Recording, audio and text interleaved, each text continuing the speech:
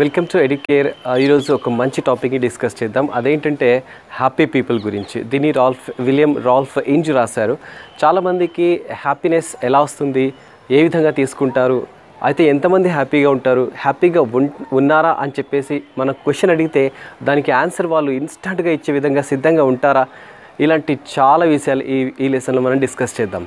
Okay late చేయకుండా లెసన్లోకి వెళ్దాం. దానికంటే ముందు ఒక చిన్న విషయం ఏంటంటే ఈ లెసన్ చాలా లెంతీగా ఉంది. నేను షార్ట్ చేసి దాని మీనింగ్ మీకు సమ్మరీ చెప్తాను.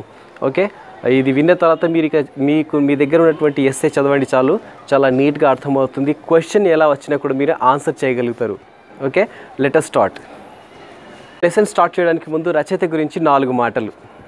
William Rolfe Inch was a renowned clergyman, scholar, and social critic. He studied and worked in distinguished colleges in Oxford and Cambridge. He was a prolific writer and was known for his views on philosophy and Christian mysticism.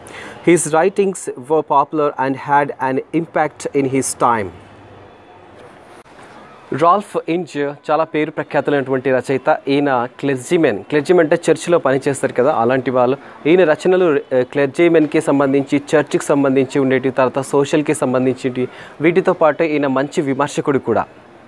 ఆ తర్వాత ఈయన విద్యాభ్యాసం ఎక్కడ జరిగింది అంటే ఆక్స్ఫర్డ్లో జరిగింది.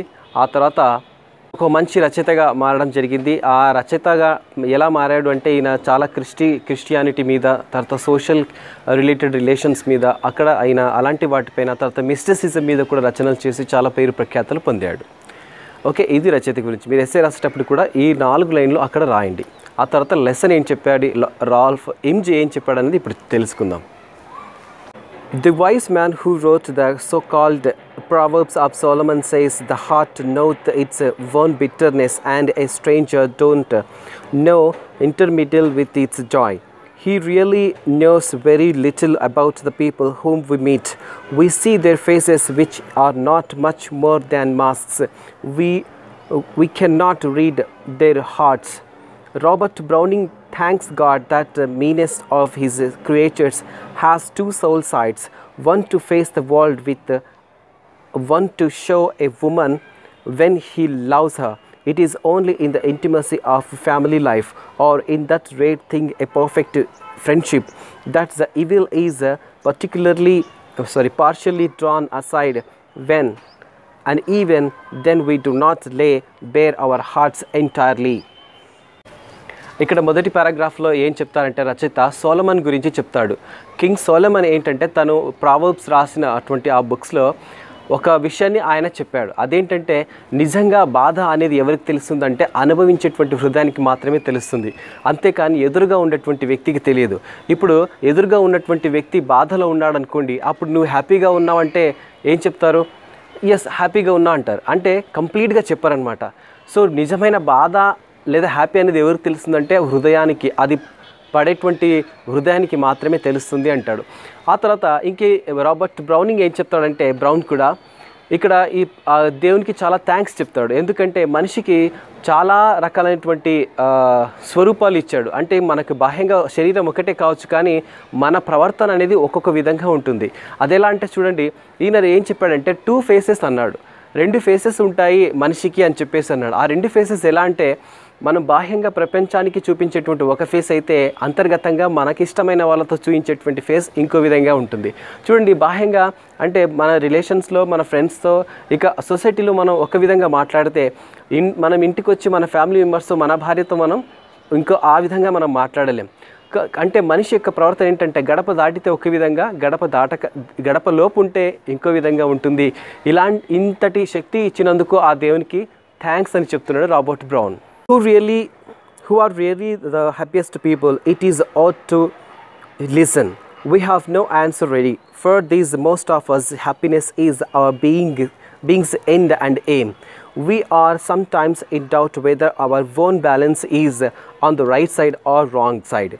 Looking back i think I can separate the years when I was happy and those when I was unhappy. But perhaps that uh, at that time I should have judged differently. We are never either so happy or so miserable as we suppose ourselves to be. అయితే ఇక్కడ Robert ఇక్కడ రచయిత William Ralph ఏం ఏం చెప్తున్నాడంటే తన opinion ప్రకారంగా ఇక్కడ మనం నువ్వు హ్యాపీగా ఉన్నావా అంటే దానికి ఈజీగా కొన్నిసార్లు చెప్పొచ్చు మన జీవితంలో గడిచినటువంటి సంఘటనలు చూసుకుంటే కొన్ని హ్యాపీనెస్గా ఉంటాయి కొన్ని మిజరబుల్గా ఉంటాయి అంటే బాధాకరంగా కూడా ఉంటాయి సో ఈ రెండు కూడా కలిసి ఉంటాయి అదే లైఫ్ అని చెప్తాడు. అలాగే ఇక్కడ ఇంకొక విషయం కూడా ప్రస్తావించాడు. మనిషికి అనేటువంటిది ఎక్కువగా మనం చూసేటువంటిది ఒరిజినాలిటీ కాదు. తన ఒరిజినాలిటీ తను ఎవరికి చూపించడు. చాలా సన్నిహితంగా ఉన్నటువంటి వ్యక్తులతో మాత్రమే చూపిస్తాడు. ఇప్పుడు చూడండి మన ఫ్రెండ్స్ నలుగురు కలిసామంటే నలుగురితో ఉన్న విధంగా మనం వ్యక్తిగతంగా ఉంటామా? దానికి మీరు క్వశ్చన్ చేసుకోండి. మీ మనసే మీకు చెప్తుంది ఇలా ఉండను. ఇప్పుడు నలుగురితో మనం నవ్వుతూ మాట్లాడతాం కానీ ఇంటికి వచ్చేపాటికి లేదా పర్సనల్గా మనం ఉన్నాం అనుకోండి అప్పుడు ఏ విధంగా బిహేవ్ చేస్తాం? అది చాలా డిఫరెంట్గా ఉంటుంది. సో అది కేవలం అనుభవించేటువంటి మనసుకు మాత్రమే తెలుస్తుంది. మనం ఏ విధంగా ప్రవర్తిస్తాం? మన క్యారెక్టర్ మనం ఏంటి అనేది తెలుస్తుంది. అది చాలా రేర్గా ఉంటుంది. ఎందుకంటే నువ్వు హ్యాపీగా ఉన్నావంటే తొందరగా చెప్పలేదు ప్రపంచంలో ప్రతి ఒక్కరికి ప్రాబ్లమ్స్ ఉన్నాయి ప్రాబ్లం లేనటువంటి వ్యక్తి లేరు అయితే మళ్ళీ వాళ్ళంతా బాధగా ఉన్నారంటే లేదు వాళ్ళు హ్యాపీగానే కనిపిస్తారు ఎందుకంటే వాళ్ళ బాధను అణుచుకొని బయటికి ప్రపంచానికి మాత్రం వాళ్ళు హ్యాపీగా కనిపిస్తూ ఉంటారు the successful man generally tells us that he was happiest while he was struggling for his success or sometimes before he discovered that an ambitious career was open to him. As a, as a rule, the game of life is worth playing, but the struggle is the prize. మళ్ళీ హ్యాపీగా ఎవరు ఉన్నారు అని చెప్పేసి మనం అడిగితే ఒక ఒక ప్లేయర్ని అడిగితే ఏంటంటే తను హ్యాపీగా ఉన్నానని చెప్తాడు. ఎందుకు చెప్తాడంటే తను తన లక్ష్య సాధనలో తను ఎంతో కృషి చేస్తున్నాడు కాబట్టి ఆ కృషి తగ్గట్టుగా తను ఫలితాన్ని అనుభవిస్తున్నాడు పొందుతున్నాడు కాబట్టి తను ఈ లక్ష్య సాధనలో నేను చేసేటువంటి ప్రయత్నాలను నేను అనుభవిస్తున్నాను కాబట్టి నేను హ్యాపీగా ఉన్నానని చెప్పేసి చెప్తాడు. అయితే ఇక్కడ ఇంకొక విషయం రాల్ఫ్ ఏం ఏం చెప్తాడంటే లైఫ్ అనేది ఒక గేమ్. ఓకే గేమ్ అన్న తర్వాత ఏంటి? దాన్ని ఆడడం తప్ప మనం ఏం చేయలేం. కదా? లేదు నేను గేమ్ ఆడను అని చెప్పేసి అని చెప్పలేం.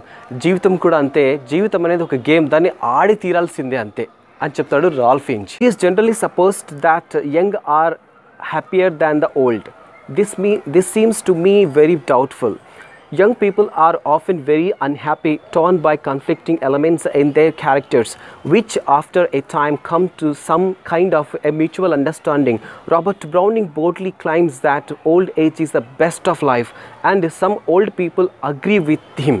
అయితే ఇక్కడ హ్యాపీయెస్ట్ పీపుల్ ఎవరు అని చెప్తే కొంతమంది అంటారు యంగ్ పీపుల్ అని చెప్పేసి అయితే ఇక్కడ రాల్ఫ్ ఇంచ్ దాన్ని ఏకీభవించాడు. ఎందుకంటే వాళ్ళకి ఆయన కొంత డౌట్ ఉంది అని చెప్పేస్తాడు.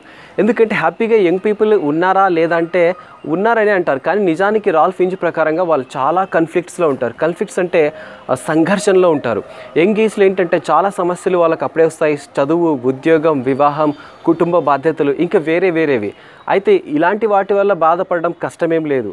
ఓకే ఇవి బాధలు పడాల్సిందే. కానీ ప్రస్తుత తరం ఏంటంటే ప్రస్తుతం యంగ్స్టర్స్ పనికి మాలినటువంటి వాటివి. ఎందుకంటే అనవసరమైనటువంటివి అని చెప్పడం కరెక్ట్ అనుకుంటాను ఇక్కడ. అనవసరమైన వాటి కోసం ఎక్కువ టెన్షన్ తీసుకుంటారు ఎక్కువ సమయాన్ని వెచ్చిస్తారు ఎక్కువగా తన ఆరోగ్యాన్ని పాడు చేసుకుంటారు. బయట చూపించేటువంటి ఏదో ఒక దాన్ని చూసి అట్రాక్ట్ అయిపోయి వాళ్ళు ఆ విధంగా చేయడం చివరికి వాళ్ళ లైఫే వాళ్ళను వాళ్ళ లైఫ్ మొత్తానికి ఏదో ఒక ప్రమాదంలో నెట్టేసే విధంగా వాళ్ళు తయారు చేసుకుంటున్నారు.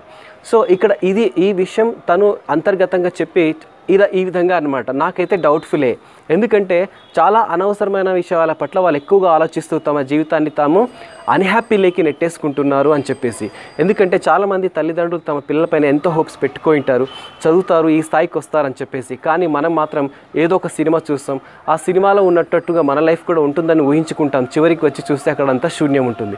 కాబట్టి మూడు గంటలు చూపించేటువంటి సినిమాని మనం మన లైఫ్కి ఆదర్శంగా తీసుకోలేం. ఎందుకంటే సినిమా అంతా కూడా అబద్ధం. ఓకే? అబద్ధంగా ఉంటుంది. అది అది నిజంగా అనుకుంటే మనం సినిమా మన లైఫ్ అనేది వంద సంవత్సరాల జీవితం మనది జీ సినిమా మాత్రం మూడు గంటలే ఉంటుంది.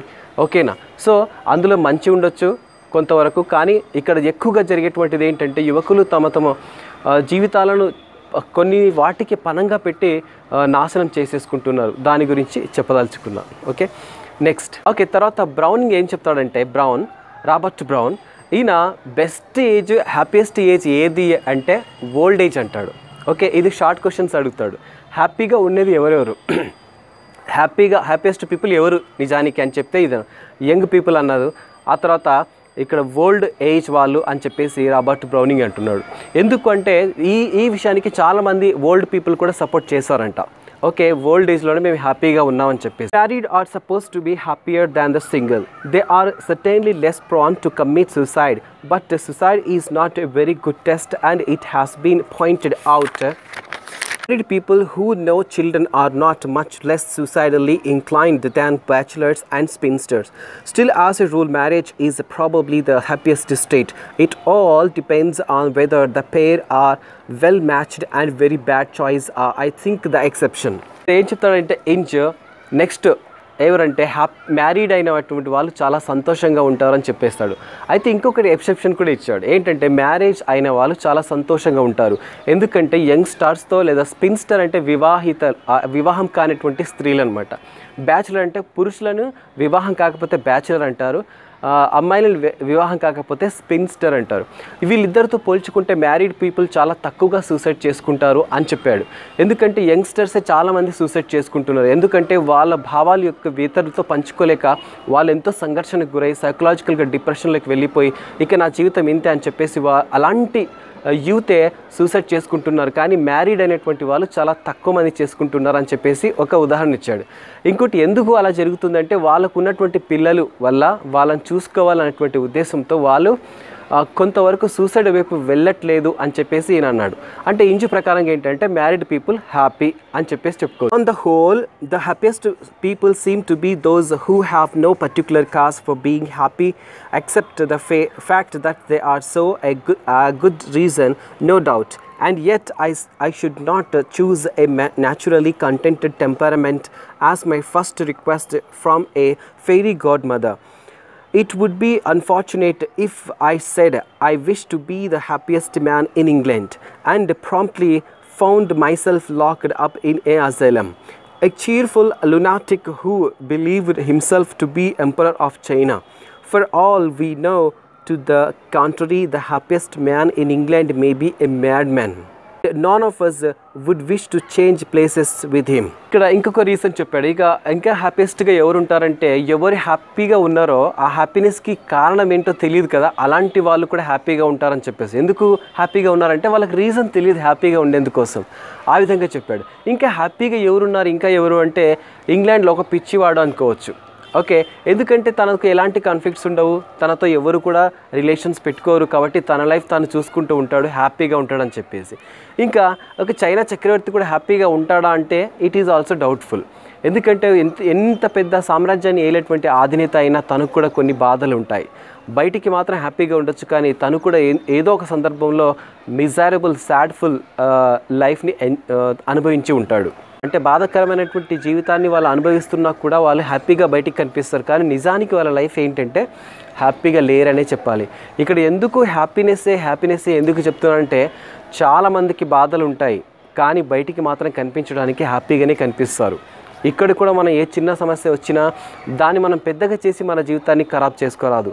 మనం దాన్ని చిన్నదాన్ని చిన్నగానే చేసుకోవాలి. ఓకే దాన్ని అన తొక్కి మనం హ్యాపీనెస్ వైపు వెళ్ళాలని చెప్పేసి రచయిత యొక్క అభిప్రాయం పొందడంలోనే మన జీవితం యొక్క పరమార్థం ఉందని చెప్పేసి చెప్తారు. అలాగే మనం ఒక మైల్ వెంట నడుచుకుంటూ వెళ్తే ఎంతమంది హ్యాపీగా ఉన్న వాళ్ళు కనిపిస్తారు మనకు? చాలామంది కనిపిస్తారు. నిజానికి వాళ్ళంతా కూడా హ్యాపీగా ఉంటారంటే వాళ్ళు ఏదో ఒక బాధతోనే ఉంటారు. అయితే అందరూ బాధగా ఉన్నారా అంటే లేదు. ఎంతో కొంత సంతోషంతోనే వాళ్ళు బాధను అనుభవిస్తూ ఉంటారు అని చెప్పేసి ఇక్కడ ఇంజి చెప్తాడు. ఓకే ఇది వీడియో లెంత్ అవుతుందని చెప్పేసి నేను ఇక్కడికి స్టాప్ చేస్తాను. మళ్ళీ పార్ట్ టూలో మళ్ళీ దీన్ని ఎక్స్ప్లెయిన్ చేస్తాను. ఓకే మీరు దీన్ని చూడండి చూసి మీ ఫ్రెండ్స్కి కూడా షేర్ చేయండి. అలాగే దీన్ని సబ్స్క్రైబ్ చేయండి. ఎందుకంటే ఇక్కడ చూడండి మీకు ఎక్కడో ఇప్పుడు డైరెక్ట్గా క్లాసెస్ వినే కా కాంటాక్ట్ క్లాసెస్ వినేటువంటి అవకాశం లేదు కాబట్టి మీరు ఇంట్లోనే ఉండి జాగ్రత్తగా ఆరోగ్యంగా మీ ఆరోగ్యం కోసం నేను ఈ వీడియో చేసి పెడుతున్నాను. Okay thank you